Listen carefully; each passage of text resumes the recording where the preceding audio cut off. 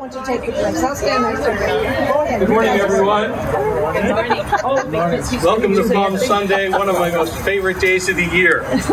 Because with this um, blessed water, I get to tap all of you on the head. So um, if you want to save your hairdo, especially Tom Dultz, where he wants his um, you know, you just have to be really very careful. Now, I've been told, please spare the glasses. In other words, most of you don't want watermarks on your glasses for the service. I can't promise anything. So we'll see how this Just close your eyes. Yeah, take them off or something like that. This really is one of the most glorious days in the church calendar. It's an opportunity to celebrate our Lord Jesus Christ, to thank God for what's coming up, the Holy Week, and uh, just to be reminded of the sacrifice of Jesus for us. That's going to, I think, come out pretty clearly as we talk again about hope, but probably in a different way than you might have expected it a little bit later on in the service.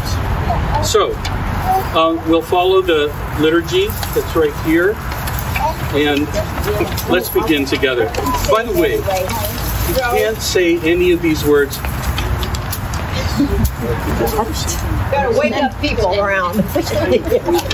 So you've got to say it really loud so that you know everybody knows, like the people going by in the truck who are looking at us. Going, what are they doing? You ready? Hosanna to the Son of David, the King of Israel. Who comes Blessed is he who comes in the name of the Lord. Dear brothers and sisters, from the beginning of Lent until now, we've been preparing our hearts by repentance and self sacrifice. Today, with the whole church, we herald the beginning of the celebration of the Paschal mystery. On this day, our Lord Jesus Christ entered Jerusalem and was welcomed as King with palms and shouts of praise. Today, we greet him as our King, though we know his crown was a crown of thorns and his throne a cross. Therefore, I invite you to follow our Lord this Holy Week from his triumphal entry through his suffering and death to the glory of his resurrection. The Lord be with you. And with your spirit. Let us pray together. Assist us mercifully with your help, O Lord God of our salvation, that we may enter with joy upon the contemplation of those mighty acts whereby you have given us life and immortality through Jesus Christ our Lord, who lives and reigns with you and the Holy Spirit, one God, now and forever. Amen. Deacon Bob is going to read the Holy Gospel of our Lord Jesus Christ. Glory to Glory you, to you, Lord Lord Christ. When he drew near to Bethphage and Bethany at the mount that is called Olivet, he sent two of the disciples, saying, Go into the village in front of you, where on entering you will find a colt tied, on which no one has ever yet sat. Untie it and bring it here. If anyone asks you, Why are you untying it? you shall say this The Lord has need of it. So those who were sent went away and found it just as he had told them. And as they were untying the colt, its owner said to them, Why are you untying the colt? And they said, The Lord has need of it. And they brought it to Jesus, and throwing their cloaks on the colt, they set Jesus on it. And as he rode along, they spread their cloaks on the road. As he was drawing near, already on the way down the Mount of Olives, the whole multitude of his disciples began to rejoice and praise God with a loud voice for all the mighty works they had seen, saying, Blessed is the King who comes in the name of the Lord. Peace in heaven and glory in the highest. And some of the Pharisees in the crowd said to him, Teacher, rebuke your disciples. He answered, I tell you, if these were silent, very stones would cry out. The Gospel of the Lord. Praise to you, Lord Christ. Let us pray together. We, praise you, Almighty God, for the acts of love by which you have redeemed us through your Son, Jesus Christ our Lord. On this day he entered the holy city of Jerusalem in triumph, and was hailed as king by those who spread their garments and branches of palm along his way. Sanctify these branches with your blessing, we humbly pray, that there may be for us signs of his victory. Grant that we who bear them in his name may ever hail him as our King and follow him in the way that leads to eternal life, who lives and reigns with you in the unity of the Holy Spirit, one God, now and forever. Amen. And of course, you know what sanctify means, right?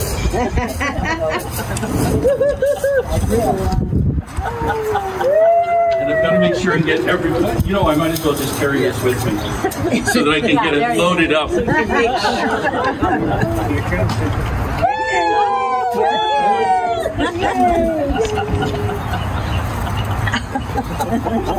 this is so much fun. I wish it was whipped cream. But... Careful with the makeup. Let's do this every Sunday. You ready?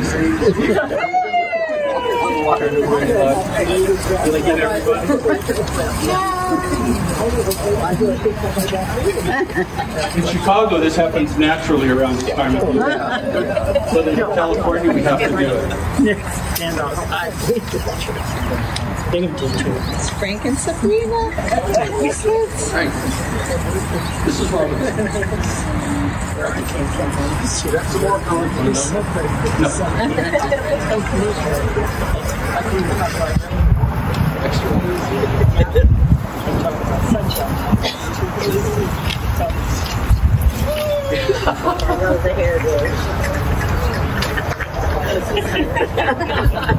Don't forget, No, oh, we got more. we got more. We got Oki and Marcus coming. and Gotta oh, get 'em. Good. just in time. Well, you're a little bit late.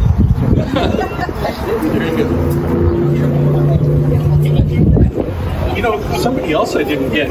Over here. Ah, Yay! Going to get you. Okay, has everybody gotten enough? How about you? How about me? Showers of blessing. Thanks, Dottie, for reminding me. You're welcome. Okay. Hosanna to the Son of David, the King of Israel. Blessed is he who comes in the name of the Lord. Hosanna in the highest. Now we're gonna we're gonna lead you in the processional in, and then um, what I'm gonna do is I'm gonna stop at the door, and I'm gonna say these last words, okay? Together just before we go in. Ready?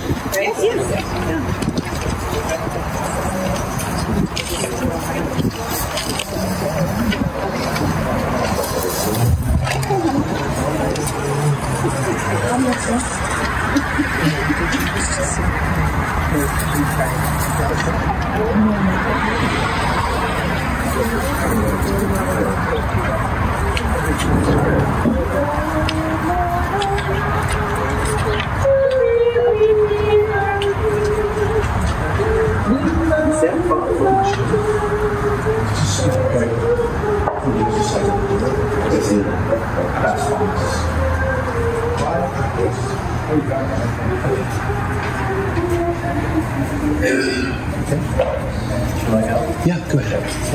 Did you get Did you get Clyde?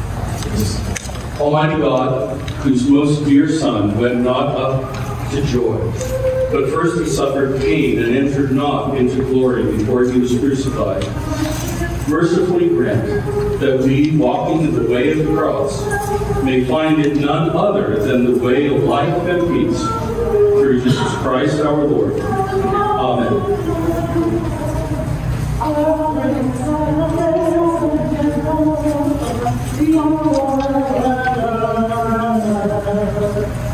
Oh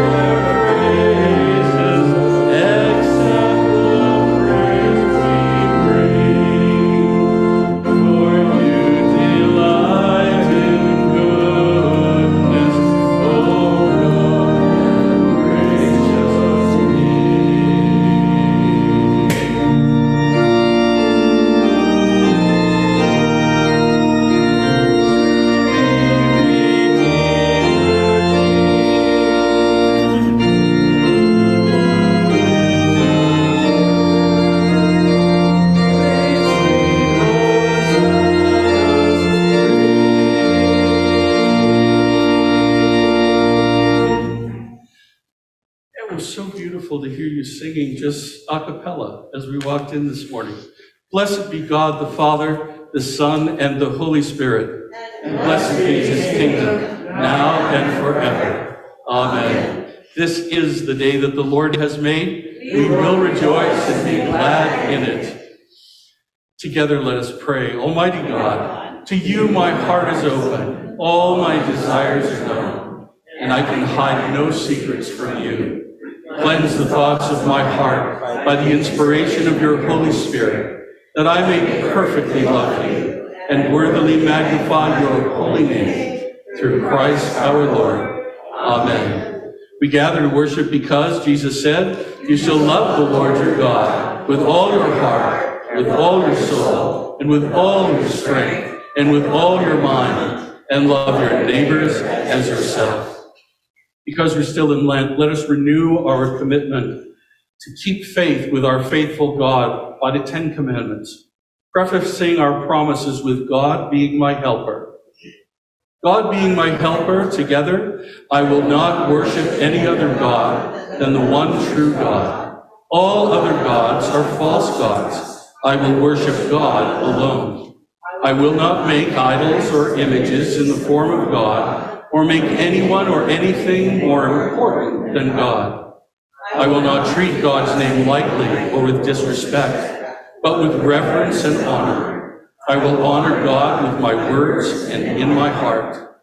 I will set aside a regular day each week for rest and worship of my Lord, resetting my life around his purpose and plan. I will honor my father and mother by respecting and obeying them because they covenant with God to bless me with wisdom. I will never deliberately kill a fellow human being or hate or hurt them with words and actions, for they, like me, are made in the image of God. I will not have sexual relations with anyone other than my spouse, as this is outside the bounds of marriage as God defines it in the Holy Scriptures. I will not steal or take anything that does not belong to me unless I have been given permission to do so. I will not tell a lie about someone or bring a false accusation against another person because their life, relationships, reputation, and livelihood may become scandalized and jeopardized. I will always tell the truth. I will not desire anything or anyone that does not belong to me or compare myself to others, because longing to have what they have leads to jealousy, envy, and other sins. I will be content and thankful to God, focusing on the people and blessings He has given me and not what He has not given me. Abba Father, we cannot make these promises and declarations without your help. Strengthen us by your holy word and live fully in us by your Holy Spirit, that we may be transformed more each moment into the image of Jesus Christ, your Son and our Savior, and Lord, brother, and friend. Amen. Lord, have mercy upon us. Christ, have mercy upon us. Lord, have mercy upon us. Sing along with us Townend's beautiful song, The Power of the Cross.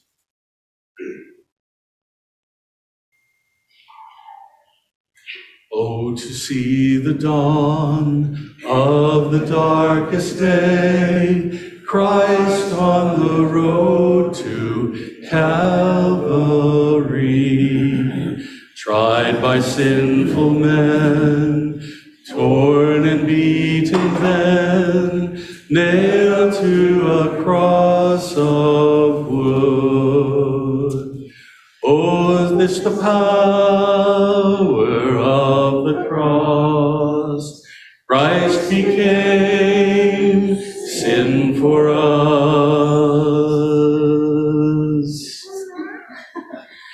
Took the blame, for the wrath, we stand forgiven at the cross. We're going to have to sell this. Here we go. Oh, to see the pain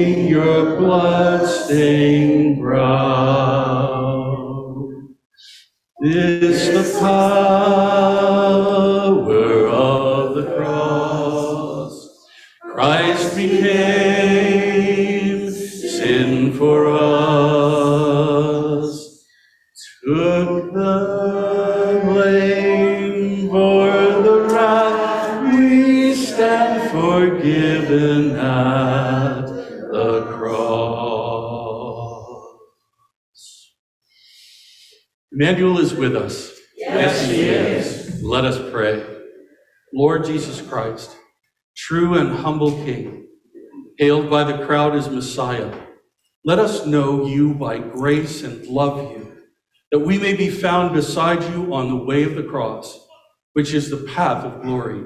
Savior and Lord, brother and friend. Amen. You may be seated. Our scripture readings on Palm Sunday are long, but they're beautiful, every single one of them. It, it's probably the most challenging day for any minister to preach because you would love to focus on any one of these. And then when we read the gospel this morning, um, our vestry members and members of the congregation will read the long gospel from St. Luke. All right? Settle in, listen carefully, ask God to speak to you by His Holy Spirit. Isaiah 52, verse 13, to 53, 12 prophesies the hope of Jesus in an ugly way that we do not expect. Behold, my servant shall act wisely. He shall be high and lifted up, and shall be exalted. As many were astonished at you, his appearance was so marred, beyond human semblance, and his form beyond that of the children of mankind. So shall he sprinkle many nations. Kings shall set their mouth because of him. For that which has not been told them they see, and that which they have not heard they understand. Who has believed what he has heard from us? And to whom has the arm of the Lord been revealed? For he grew up before him like a young plant, and like a root out of dry ground. He had no form or majesty that we should look at him, and no beauty that we should desire him. He was despised and rejected by men, a man of sorrows and acquainted with grief. And as one from whom men hide their faces, he was despised, and we esteemed him not. Surely he has borne our griefs and carried our sorrows, yet we esteemed him stricken, smitten by God, and afflicted. But he was, pieced, he was pierced for our transgressions, he was crushed for our iniquities. Upon him was the chastisement that brought us peace, and with his wounds we are healed. All we like sheep have gone astray. We have turned every one to his own way, and the Lord has laid on him the iniquity of us all. He was oppressed, and he was afflicted, yet he opened not his mouth. Like a lamb that is led to the slaughter, and like a sheep that before its shearers is silent, so he opened not his mouth. By oppression and judgment he was taken away. And as for his generation, who considered that he was cut off out of the land of the living, stricken for the transgression of my people. And they made his grave with the wicked, and with a rich man in his death, although he had done no violence, and there was no deceit in his mouth. Yet it was the will of the Lord to crush him. He has put him to grief.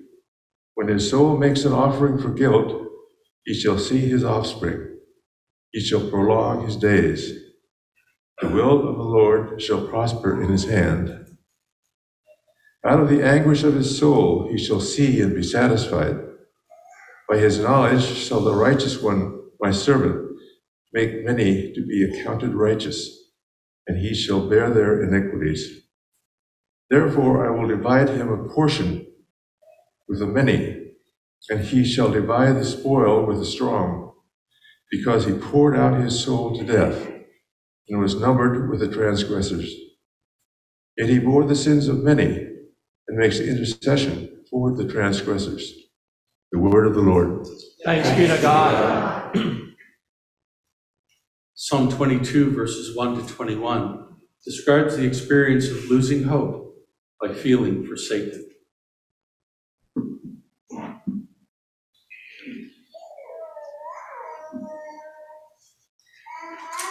My God, my God, why have you forsaken me? Why are you so far from saving me from the words of my groaning? Oh my God, I cry by day, but you do not answer, and by night, but I find no rest. Yet you are holy, enthroned on the praises of Israel. In you our fathers trusted. They trusted, and you delivered them. To you they cried and were rescued. In you they trusted and were not put to shame. But I am a worm and not a man, scorned by mankind and despised by the people.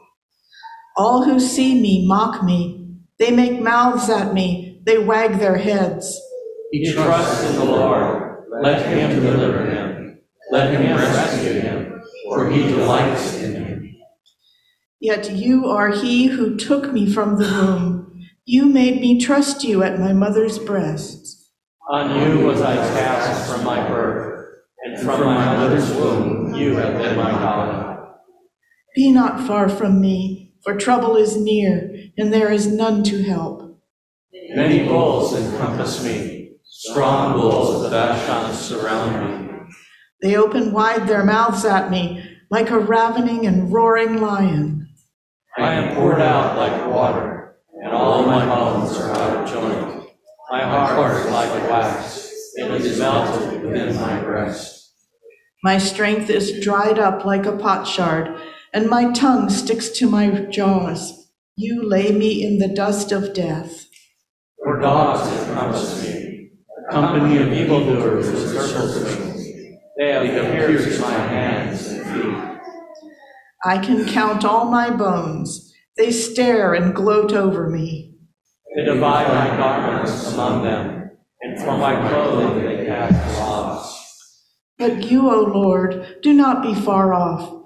O you, my help, come quickly to my aid. Deliver my soul from the sword, my precious life from the power of the dog. Save me from the mouth of the lion. You have rescued me from the horns of the wild oxen. Glory to the Father, and to the Son, and to the Holy Spirit, as it was in the beginning, is now, and ever shall be, world without end. Amen.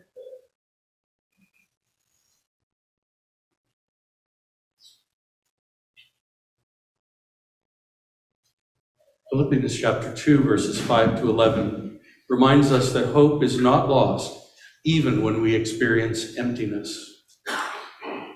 Have this mind among yourselves, which is yours in Christ Jesus, who, though he was in the form of God, did not count equality with God a thing to be grasped, but emptied himself by taking the form of a servant, being born in the wilderness in the likeness of man, and being found in human form. He humbled himself by becoming obedient to the point of death, even death on a cross. Therefore, God has highly exalted him and bestowed on him the name that is above every name, so that at the name of Jesus every knee shall bow in heaven and on earth and under the earth, and every tongue confess that Jesus Christ is Lord to the glory of God the Father. The word of the Lord. Thanks be to God.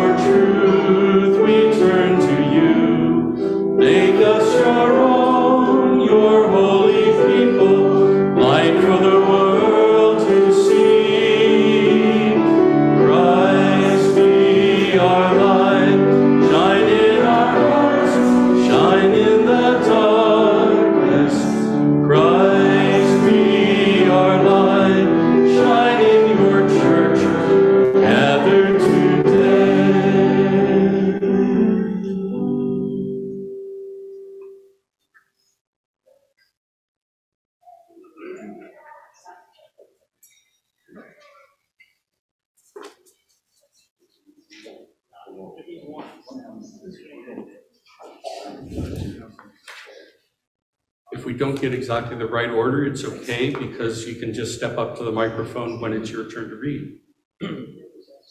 I'd leave it right here, I think that's. Thanks. Luke chapter 22, 39 to 23, 56 begs us hope, even as Luke transports us to Golgotha and the last breath of Jesus. The Holy Gospel of our Lord Jesus Christ, according to St. Luke. Glory to you, Lord Christ. And he came out and went, as was his custom, to the Mount of Olives, and the disciples followed him. And when he came to the place, he said to them, Pray that you may not enter into temptation. And he withdrew from them about a stone's throw, and knelt down and prayed, saying, Father, if you are willing, remove this cup from me. Nevertheless, not my will, but yours be done. And there appeared to him an angel from heaven, strengthening him. And being in agony, he prayed more earnestly, and his sweat became like great drops of blood falling down to the ground. And when he arose from prayer, he came to the disciples and found them sleeping for sorrow. And he said to them, Why are you sleeping? Rise and pray that you may not enter into temptation. While he was still speaking, there came a crowd, and the man called Judas, one of the twelve, was leading them. He drew near to Jesus to kiss him. But Jesus said to him, Judas, would you betray the Son of Man with a kiss? And when those who were around him saw what would follow, they said, Lord, shall we strike with the sword? And one of them struck the servant of the high priest and cut off his right ear. But Jesus said, No more of this. And he touched his ear and healed him. Then Jesus said to the chief priests and officers of the temple and elders who had come out against him, Have you come out as against a robber with swords and clubs? When I was with you day after day in the temple, you did not lay hands on me. But this is your hour and the power of darkness.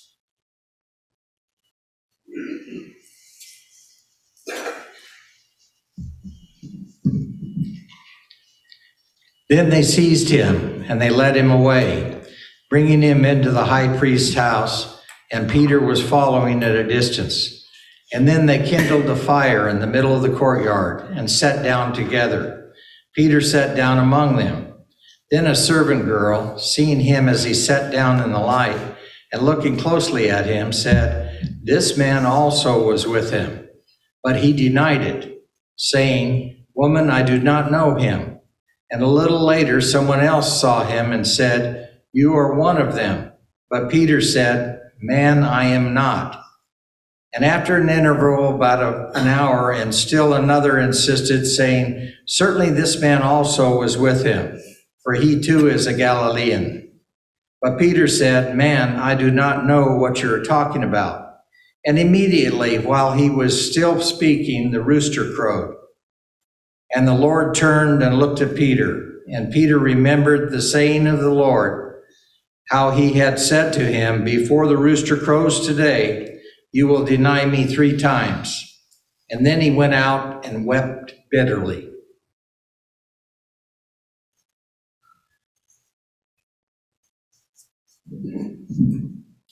Now the men who were holding Jesus in custody were mocking him as they beat him. They also blindfolded him and kept asking him, Prophesy, who is it that struck you? And they said many other things against him, blaspheming him. When day came, the assembly of the elders of the people gathered together, both chief priests and scribes, and they led him away to their council, and they said, If you are the Christ, tell us. But he said to them, If I tell you, you will not believe, and if I ask you, you will not answer. But from now on, the Son of Man shall be seated at the right hand of the power of God. So they all said, Are you the Son of God then? And he said to them, You say that I am. Then he said, What further testimony do we need? We have heard it ourselves from his own lips.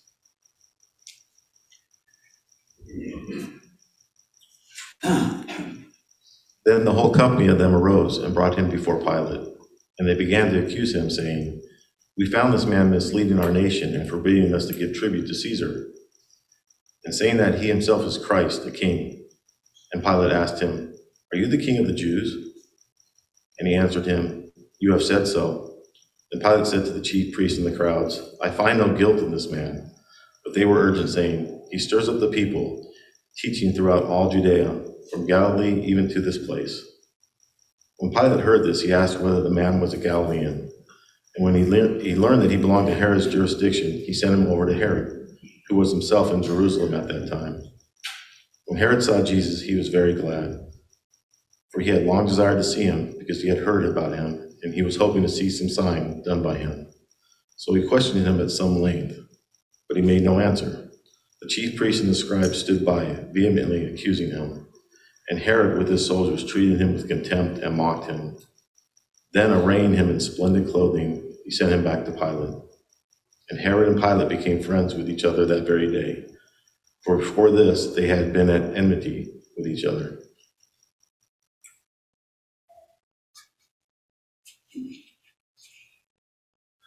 Pilate then called them together, the chief priests and the rulers and the people, and said to them, You brought me this man as one who is misleading the people. And after examining him before you, behold, I did not find this man guilty of any of your charges against him. Neither did Herod, for he sent him back to us. Look, nothing deserving death has been done by him. I will therefore punish and release him.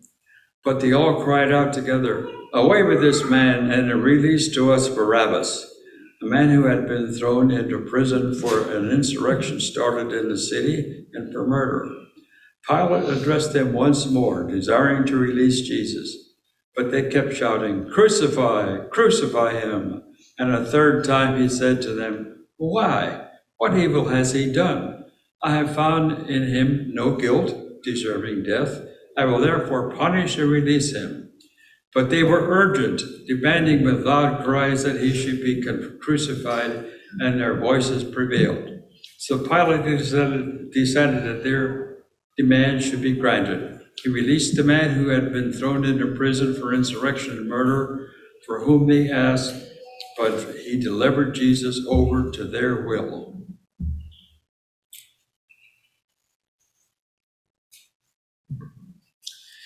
And as they led him away, they seized one Simon of Cyrene, who was coming in from the country, and laid him on the cross to carry it behind Jesus.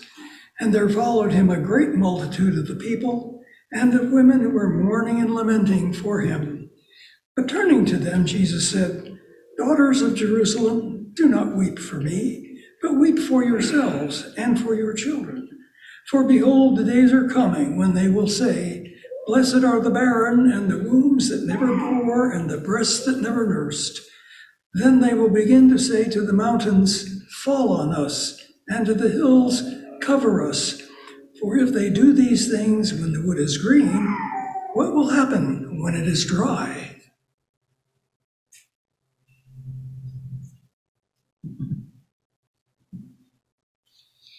Two others who were criminals were led away to be put to death with him. And when they came to the place that is called the skull, there they crucified him, and the criminals, one on his right and one on his left. And Jesus said, Father, forgive them, for they know not what they do. And they cast lots to divide his garments.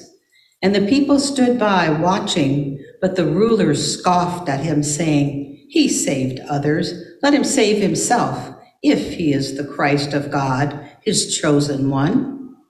The soldiers also mocked him, coming up and offering him sour wine and saying, If you are the king of the Jews, save yourself.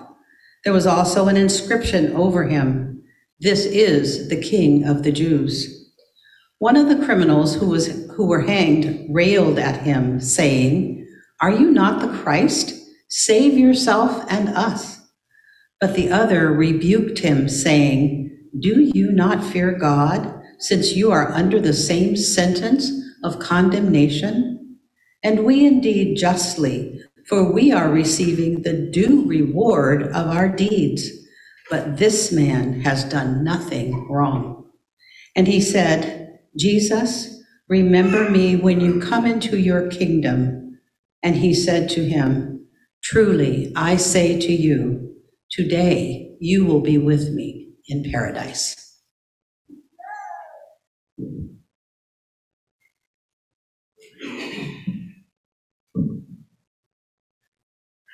It was now about the sixth hour, and there was darkness over the whole land until the ninth hour, while the sun's light failed, and the curtain of the temple was torn in two.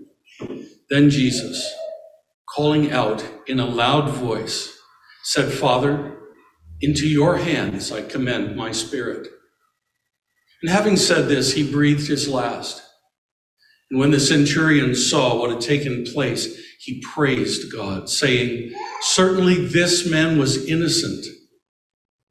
All the crowds that had assembled for this spectacle, when they saw what had taken place, returned home, beating their breasts. And all his acquaintances and the women who had followed him from Galilee stood at a distance, watching these things.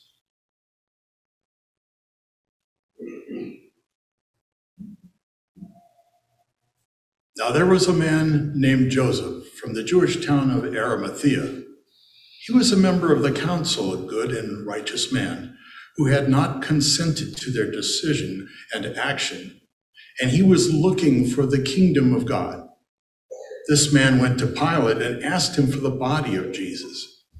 Then he took it down and wrapped it in a linen shroud and laid him in a tomb cut in stone where no one had ever yet been laid. It was the day of preparation, and the Sabbath was beginning. The women who had come with him from Galilee followed and saw the tomb and how his body was laid. Then they returned and prepared spices and ointments. On the Sabbath, they rested according to the commandment. The Gospel of the Lord. Praise to you, Lord Christ.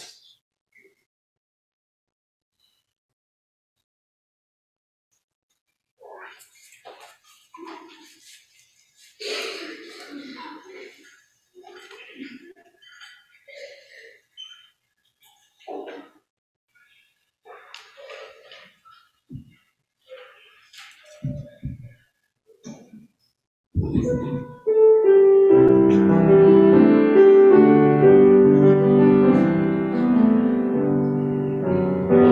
for peace, our world is troubled. Longing for hope,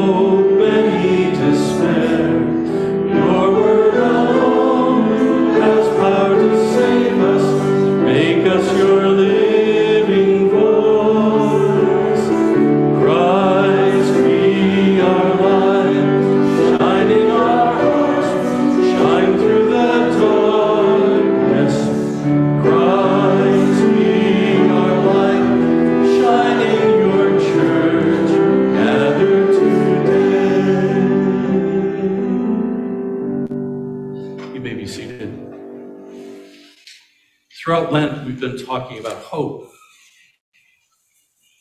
So far, we've learned about 20 ways to hope. That's not going to change. We're going to, we're going to learn a few more together because we are witnesses to and custodians of the greatest mystery and beneficiaries of the most beautiful love story in cosmic history. Palm Sunday, Holy Week is near. Penitence, prayer, and sacrificial giving give way to the Passion, and yet it is still time for hope. Five more kinds of hope in Lent. Hosanna hope. We celebrated it out there on the bell tower plaza. Ugly hope. There's a hope you weren't expecting. Forsaken hope. Another hope you weren't expecting. Emptied hope. You ready to get up and walk out? Last hope. Really? Last hope? Let's start out a little happy. Hosanna hope. Blessed is the King who comes in the name of the Lord, the crowd shouted. Peace in heaven and glory in the highest. It almost sounds like Christmas. The folks who met Jesus on his way to Jerusalem were thrilled. Finally, their hope had arrived. Some had been looking for Messiah who was going to take over militarily. Others were looking for a political coup. They were all partisans. They wanted to be free of the Romans. Some, like Simeon, were called quiet in the land. Sometimes they were described poor in spirit, that very first beatitude. People who in their hearts knew that somehow God would answer their prayer, knew that somehow joy would be theirs when Messiah came, but just didn't know when.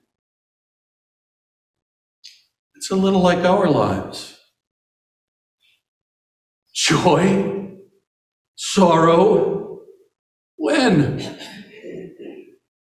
So great when everyone sings your praises. Jesus must have felt exhilarated in his humanity at the very least. When you are celebrated for who you are and who you represent, blessed is he who comes in the name of the Lord. When your accomplishments and achievements make your world better, his teaching had transformed the multitudes. That's why they followed him. You're living in hope because that's exactly Jesus. We have the same experiences. When we're on top of the world and everybody's singing our praises, we're thrilled. But that isn't every day, is it? Because sometimes things get ugly. He had no form or majesty that we should look at him, and no beauty that we should desire him. Life really is a beauty contest when you think about it. None of you got up this morning and didn't look in a mirror for at least a few hour, uh, minutes.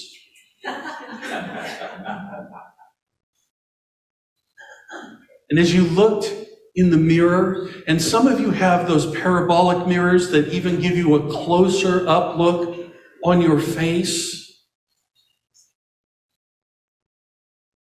Some of you said words I shouldn't utter here this morning, and others of you said, I think I might be getting older. And others of you said, that needs help.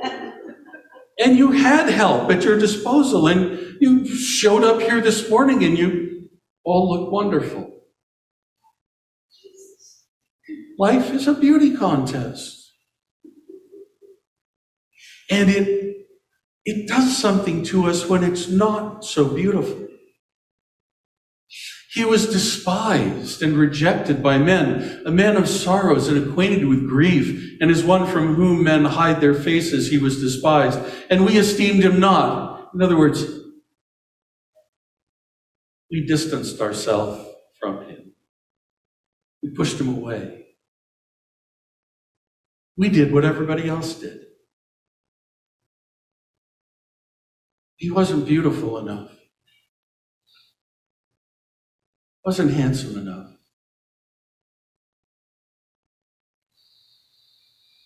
We esteemed him stricken, smitten by other human beings. No, that's not what it says. By God and afflicted.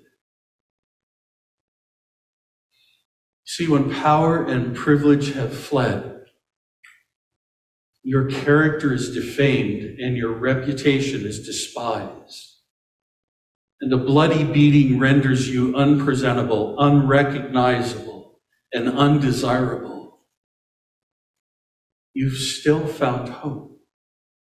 Because Jesus was stricken, he was smitten, he was afflicted by God to be our salvation. Never underestimate what God is doing when He takes the beauty out of your life. He's preparing you for hope. Sometimes that means you're going to feel forsaken. You, you recognized the psalm, didn't you? My God, my God, why have you forsaken me? These are words that come from the seven sayings on the cross. The rest of verse 1 in Psalm 22 is not said from the cross. Why are you so far from saving me? From the words of my groaning. You ever been in a place that's so ugly? So forsaken? You felt like all of your words and even your prayers were groaning? Could there possibly be hope there? Sometimes you may feel what I've described as an exquisite aloneness when only you and God know where you are. You can be alone all by your personal, physical self in a place where you could be in the middle of a very public meeting and feel this kind of exquisite aloneness when only God and you know where you are or what you might be thinking or how you feel, what your experience is. And abandonment is the only way that you can make sense about the reality of your life. I've been left alone. When your words and prayers groan and rescue seems impossible, you found hope. Because Jesus has been there before you've been there. He was there. He knows exactly where you are and precisely what you need. You're never alone. Even if you feel empty, you're not alone. Christ Jesus, who, though he was in the form of God, did not count equality with God a thing to be grasped, but emptied himself by taking the form of a servant, being born in the likeness of men. Didn't consider equality with God something to be hugged jealously it's what that Greek word means. Now, think about this. Before the creation of the cosmos, in the divine council of the Trinity, these plans were made. The Trinity decided we're going to create a cosmos in 3D. We'll add time and space. But before we do that, we're going to create beings in our image that are going to stick their fingers in our eyes. They're going to murder each other. They're going to assassinate their characters and they're going to try to assassinate our character. They're even going to rail at us for creating them. Some are going to say, we shouldn't have been given choice. Look at what that's done. And others will say, but it wouldn't have been dignified had we not been given choice. And they'll fight endlessly with each other. They'll be religious. All kinds of religious. They'll understand me in many different ways. Assuming the Trinity is all guys. Guys, are we ready for this?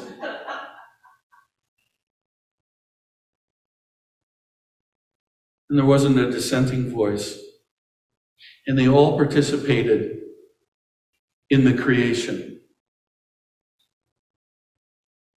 And in some of the opening words of the recorder, it says, And God made man in his image, male and female, he created them. And at the end of that sixth day, when they were created, the Trinity said, This is very good. And then the story began. The story that brings us to this day. The story that started out in the Bell Tower Plaza singing hosannas, and quickly changed the minute we came in the doors to what felt like a funeral service.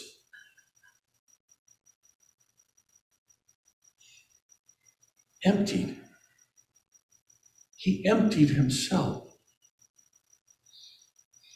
taking on the form of a servant, being found in the likeness of people who he created. Really messed things up. You see, when you're empty and there's absolutely nothing left, when being a servant is the only way you can describe or do your life, when sacrifice is required of you and you've given it all you've got, you still have found hope. Because then and only then, you truly know purpose like Jesus knew purpose. And that takes us to the last hope, that long, long scripture reading from the Gospel of Luke. But this little phrase, then Jesus calling out with a loud voice said, Father, into your hands I commend my spirit. And having said this, he breathed his last.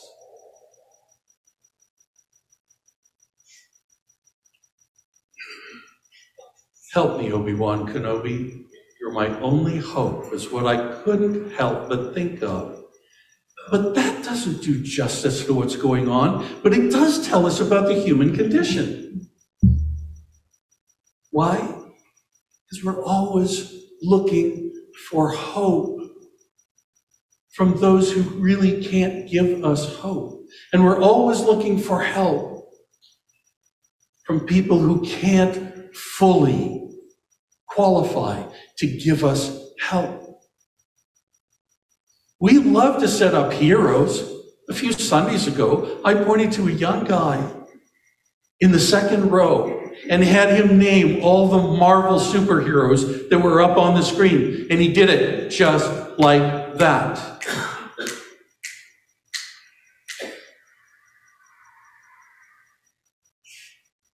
But Jesus wasn't on the screen.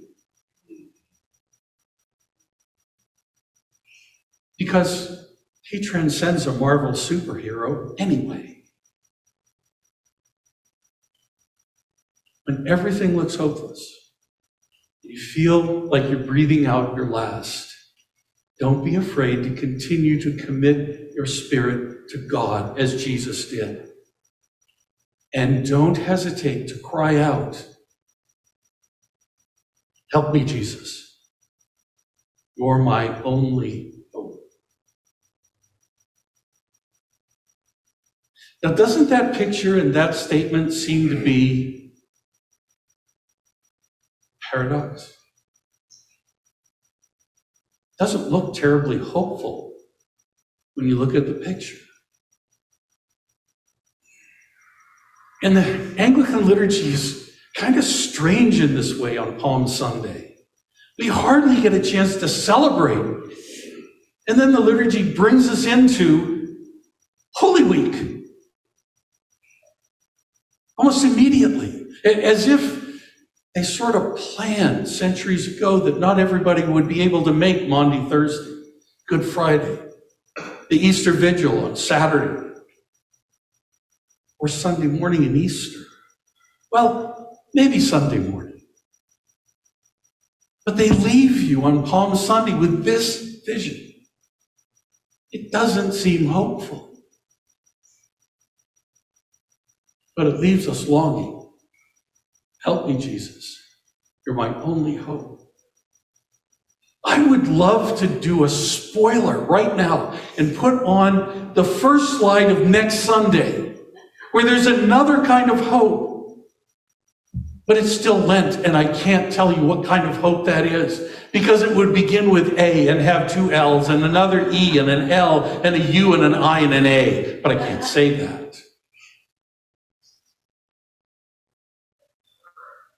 You ruin the suspense.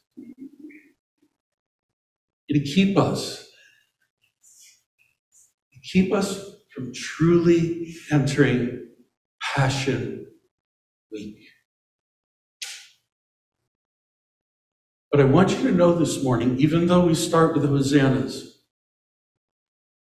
whether in your life you feel ugly or forsaken or emptied, or it's the last breath you've got, you can still find hope in Jesus. He's there. He's with you. He knows exactly what you need. When you can turn nowhere else, he emptied himself so that he could fill you up. Amen.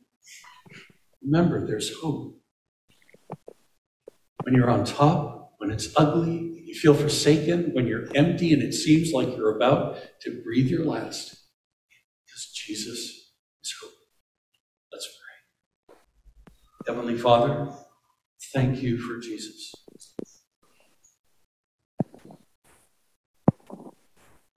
Our hearts are quiet. Our lips are quiet. Because you have a sense of the gravity of this day. You have a sense of what this week means.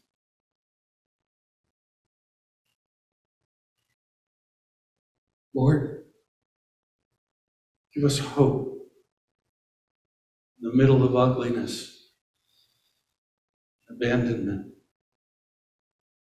Give us hope when we're all poured out. Give us hope. It feels like the last has been reached. Give us hope in Jesus. Amen. Amen. I'm going to stand and sing a hymn that I think you all know. Three verses beautifully written to remind us of the hope that we have in Jesus, even though for the next week we'll be beneath his cross. Let's stand together.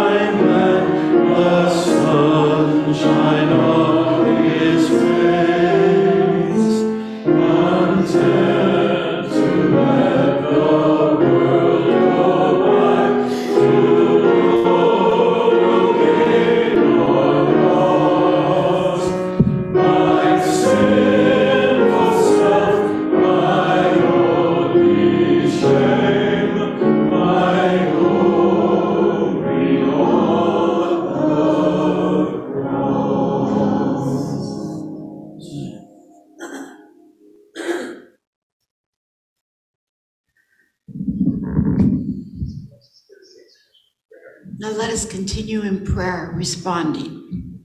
Here is our prayers.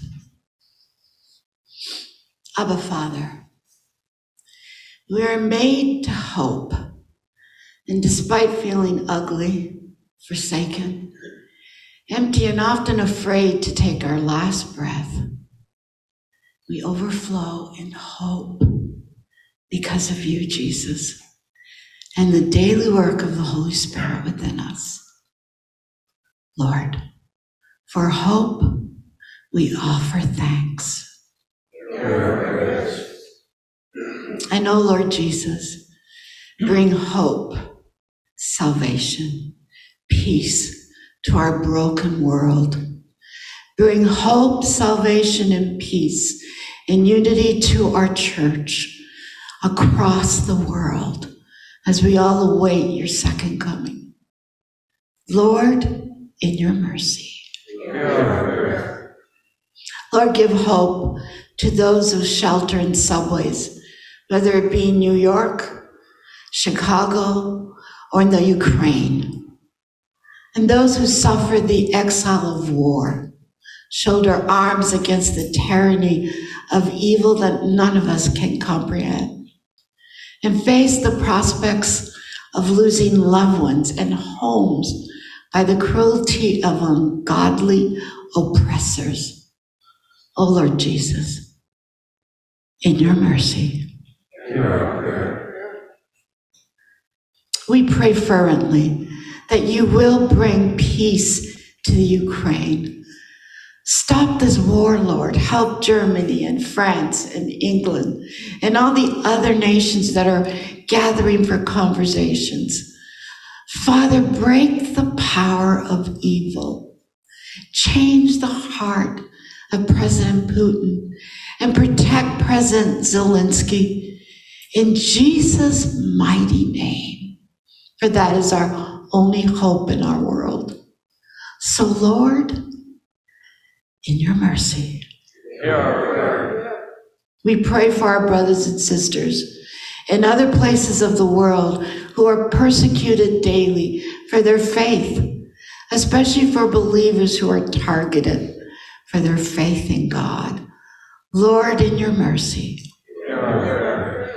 we ask divine intervention in places where Christians are being martyred, but that your spirit will be poured out in a mighty way, and there will be no more loss of life among those who cannot escape. Lord, in your mercy, for all in trouble, like we heard this morning in your word, sorrow, need, especially refugees by natural disaster, civil unrest, and strife, who must endure these works of evil in our world and so many places, Lord, besides the Ukraine. Lord, in your mercy. We praise you now for all who proclaim the gospel at home, abroad, online, and we pray for all ministers by teaching this hope and discipling others. Lord, in your mercy.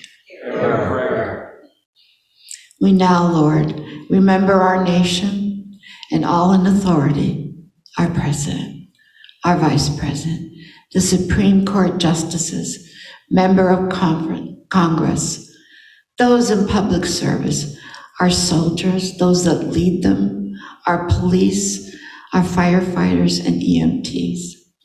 Lord, in your mercy. And Lord, now we thank you for our leaders, Archbishop Foley, Bishop Keith, all pastors, clergy, lay ministers, and leaders in our deanery. And Lord, I especially remember those of us that are in our bedrooms, in our closets, as we walk, and our prayer warriors. For all of us that pray quietly for all these needs among our diocese and in our province. Lord, in your mercy. We ask divine intervention for those still sick with COVID, for wisdom and unity and grace, and love for our neighbors and our communities, for guidance for our leaders and healthcare professionals, and for, Lord, an ending to this afflicting virus. Lord Jesus, in your mercy. And finally, Lord, for all who are celebrating birthdays, anniversaries, and Lord may be traveling for various reasons, we especially lift them up to you in thanksgiving for protection and safety and safe return. Lord, in your mercy. Now, Lord, we do thank you for the hope of calling Father Keith and Don, the entire Hartsel family to grace. And Lord, as they continue to look for housing, give us hope they will find one soon. Lord, in your mercy. And now I ask you, please add your petitions and thanksgivings. Please pray for my friend Paula, her mother Clara is transitioning this week. It's and very gentle and it's a blessing. And prayers for my friend Paula. I would also like prayers for my friend Jill, who's attended church here with us, and she's suffering through severe alcoholism right now. And prayers for her mother Pat, as it's very hard on her mom. And I'm just praying, for praying. So I appreciate your prayers. Thank you. Amen. Right, my daughter, yeah, and thank God that she's doing so. Prayers for healing for Kathy Fairchild as she goes through rehab after having hip replaced. Continued prayers and healing for our great grandson.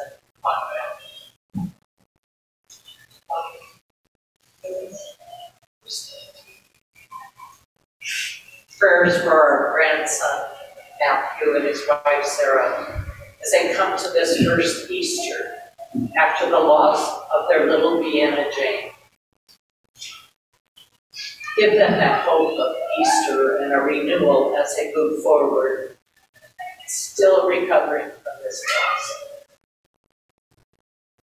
Lord, I pray for those of us in this room this morning that might be feeling the ugliness of life, the cries that we cry in the middle of the night and feel they go nowhere. Lord, give us all hope that despite the hardness of feeling that aloneness, mm.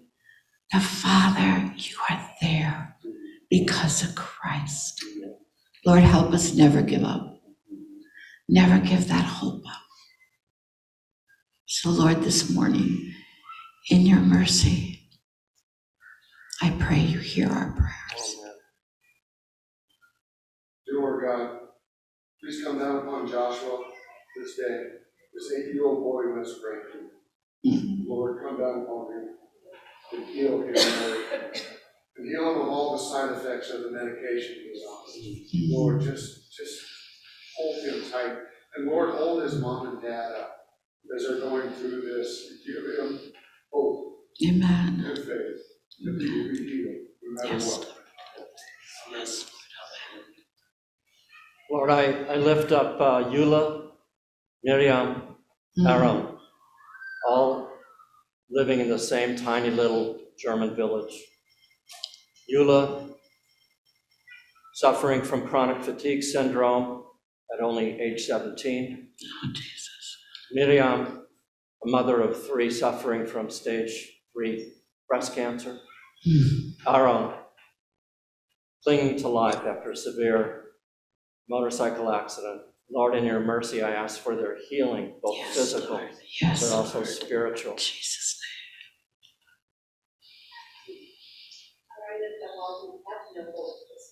Yes, Lord. And ask that you will increase the hole in their heart.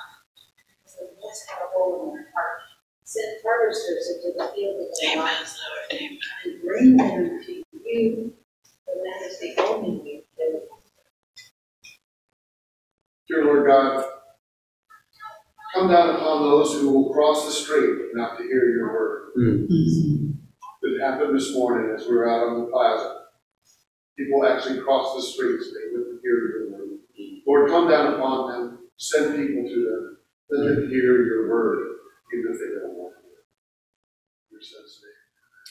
Lord, I pray for Pastor Nima as he's online this morning, uh, this week, with the message of hope to his country fellow men and women. Lord, anoint him in a special way as he goes into a country that has been often closed to the gospel. May this week, Lord, he have divine strength and courage to speak forth the truth of Jesus Christ, the resurrected Christ. Make his room where he zooms a holy, holy place that goes out thousands of miles away. We pray this in your name.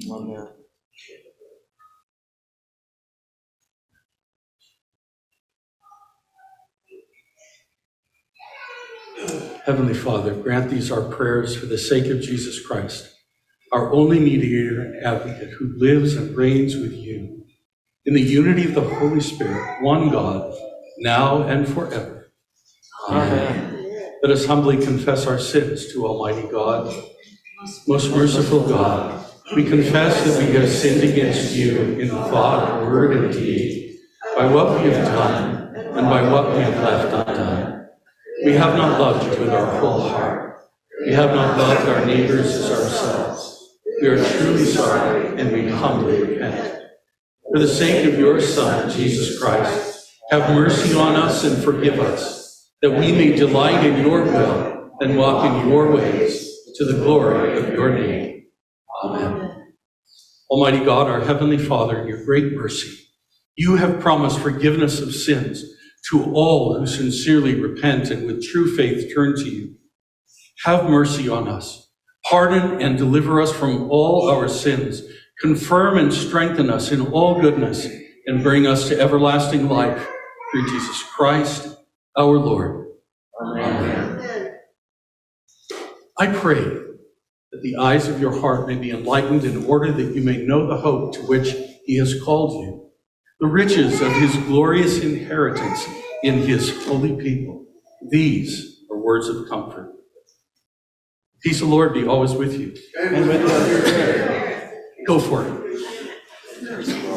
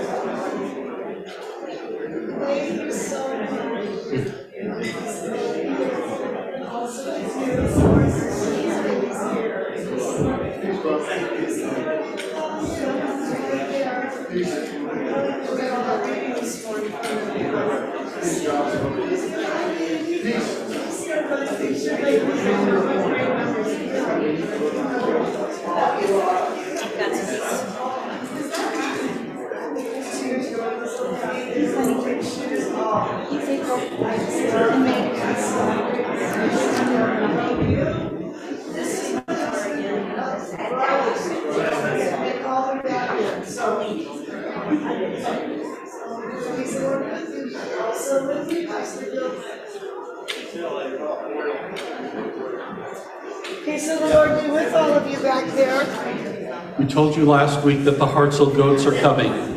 Hopefully, they're bringing humans with them. So please pray for a house um, in which the Hartzells can make a home.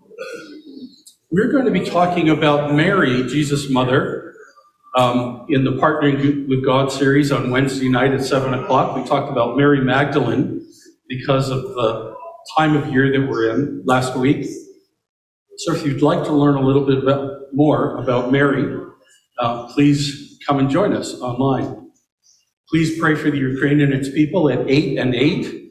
Um, those are strategic times in their part of the world, and and we can pray at these times for them. These are the things that we do on an every week basis, and we do it because tithes, offerings, and almsgiving, your generosity, make it possible. We also plant churches, and we're about ready to start planting a second church as well. And that's what your one George per person per Sunday does to reach South San Diego and college students. Today, we're going to, after the service, eat cake together. And uh, it's going to be a great opportunity for us to share some time of fellowship right outside where we had the palms and we started our service this morning. I've added a service um, to this particular um, week. So Maundy, Thursday at 7 o'clock here in person, we'll have a, a beautiful service together celebrating Christian community. On Good Friday at 3 o'clock in the afternoon, here again in person. And then at 7 o'clock online on Saturday evening, uh, the Easter Vigil, that's on Saturday, and then, of course, Easter Sunday at 10 a.m. here in person. So please come and join us for these services. I'll send a note out to every one of you just to remind you. Let's thank, yes, um, one more thing. Thank you, Yvonne, for reminding me. We, we're going to be putting uh, lilies up for Easter if you would like to have a lily set aside especially for you, will you please make sure and sign a sheet that looks like this, that's going to be at the very back? And um, you'll have Easter lilies that will have been a part of the service uh, next Sunday. Okay.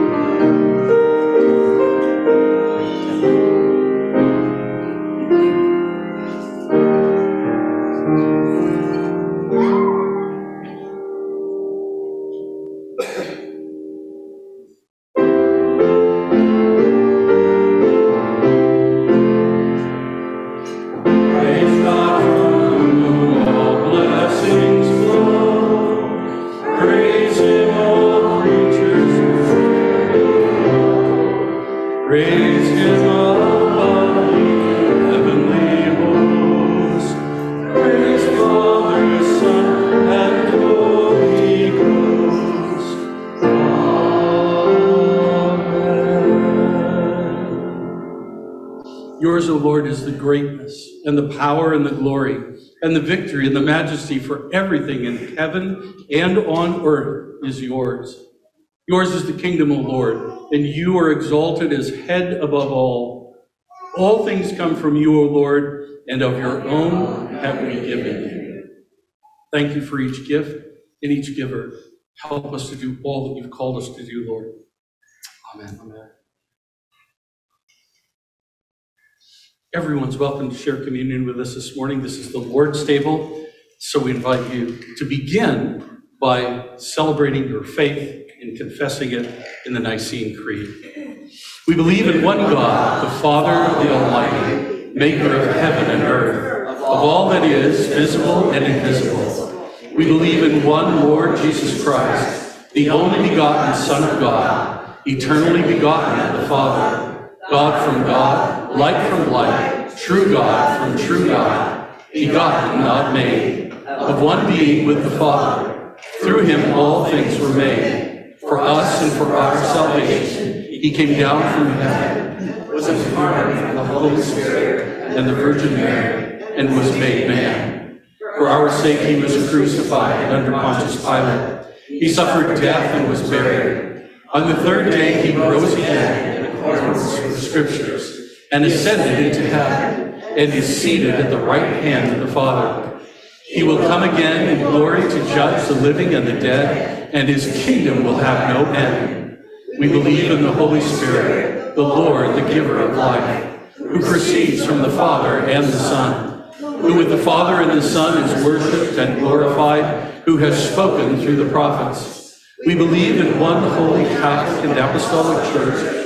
We acknowledge one baptism for the forgiveness of sins. We look for the resurrection of the dead and the life of the world to come. Amen. The Lord be with you. Lift up your hearts. Let us give thanks to the Lord our God. It is right to give him thanks and praise. It is right, our duty and our joy, always and everywhere, to give thanks to you, Father Almighty, creator of heaven and earth through Jesus Christ our Lord. For he is your living word from before time and for all ages. By him you created all things, and by him you make all things new. Therefore, we praise you, joining our voices with angels and archangels and all the company of heaven who forever sing this hymn to proclaim the glory of your name.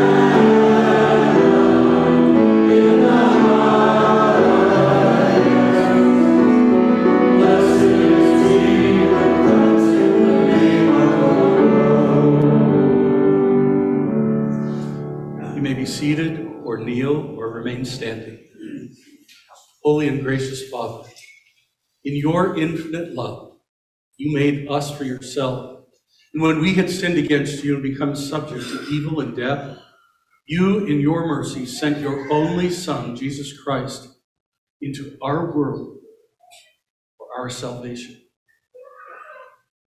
By the Holy Spirit and the Virgin Mary, he became flesh and dwelt among us.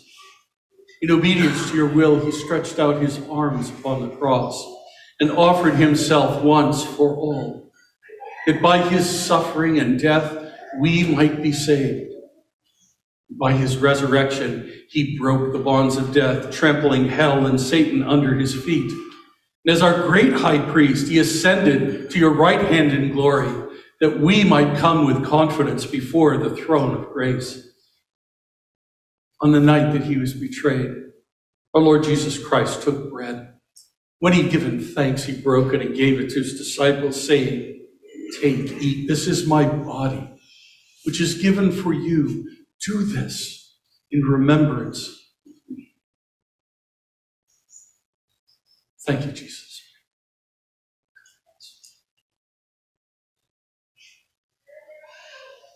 Likewise, after supper, Jesus took the cup. When he given thanks, he gave it to them, saying, Drink this, all of you, for this is my blood, the new covenant, which has been shed for many, for the forgiveness of sins. Whenever you drink it, do this in remembrance of me. Thank you for your share.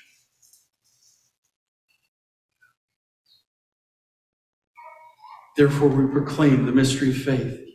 Christ has died. Christ is risen. Christ will come again.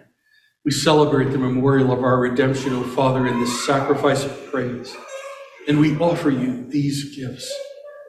Sanctify them by your word and Holy Spirit, that they may be for your people the body and blood of Jesus Christ, our Lord. Sanctify us also, that we may worthily receive this holy sacrament and be made one body with him, that he may dwell in us and we in him. In the fullness of time, put all things in subjection under your Christ and bring us with all your saints into the joy of your heavenly kingdom, where we shall see our Lord face to face. All this we ask through your Son, Jesus Christ, for by him and with him, in the unity of the Holy Spirit, all honor and glory is yours, Almighty Father, both now and forever. Amen.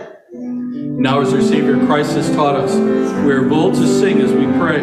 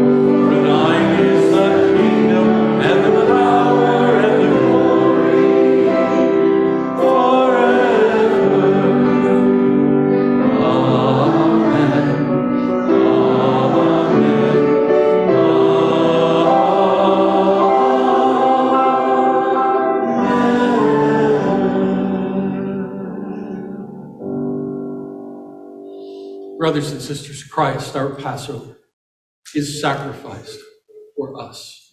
Therefore, let us keep the feast. Lamb of God, you take away the sin of the world. Have mercy on us. Lamb of God, you alone can take away our sins and the sin of the world. Have mercy on us. Lamb of God, you take away the sin of the world. Grant us peace. These are the gifts of God for the people of God. So take them in remembrance that Christ died for you and feed on him in your hearts by faith with thanksgiving.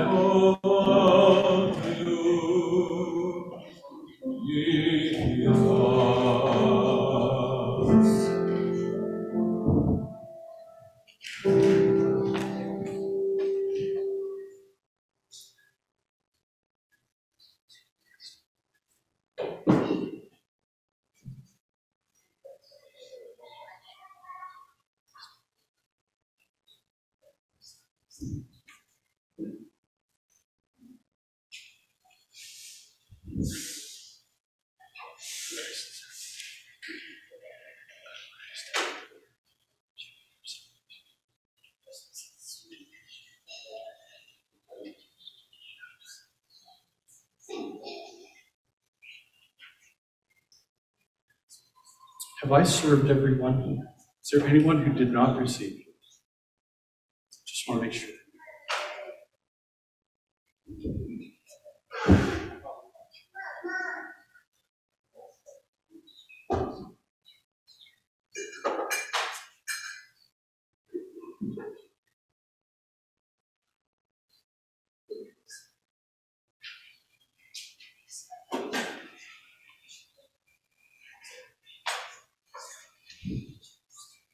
Let's stand and pray together.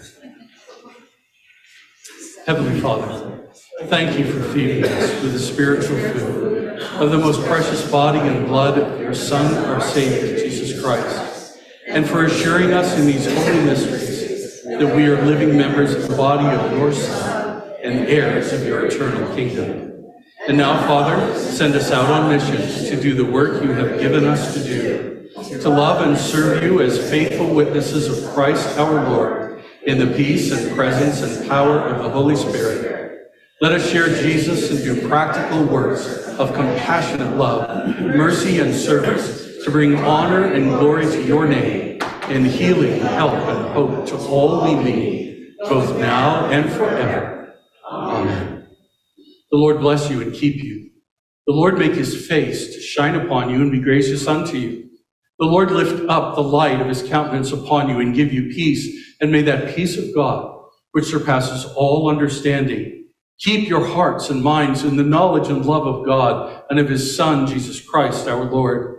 And the blessing of God Almighty, the Father, the Son, and the Holy Spirit be among you and remain with you always. Amen. Okay? All right. God bless you.